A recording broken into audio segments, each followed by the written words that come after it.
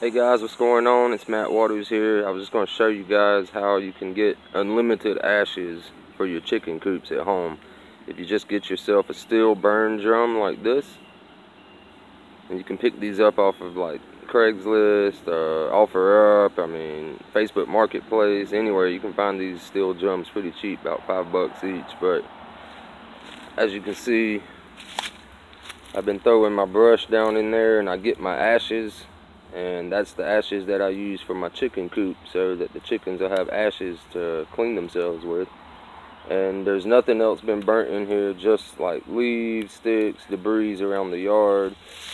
Um, it makes great stuff. I mean so if you want some good ashes for your chicken coop just get yourself one of these steel burn barrels and burn just debris from your yard like so and there you go You'll have all the ashes you need for your chicken coop.